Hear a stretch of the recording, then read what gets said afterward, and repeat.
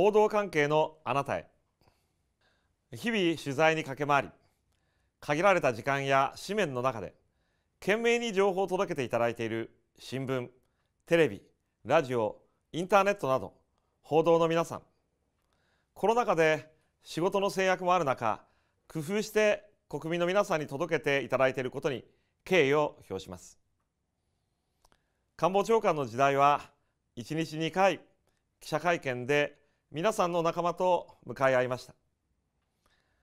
私は皆さんの後ろにはたくさんの国民の皆さんがいる。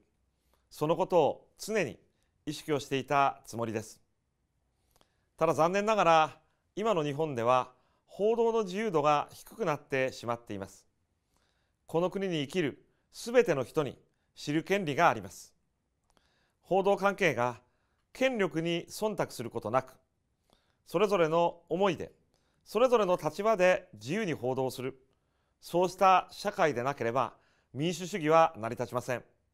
もちろん私たちに対しても厳しい姿勢ででも与党に対しても野党に対しても公平に対等に扱ってそして私たちが切磋琢磨できる。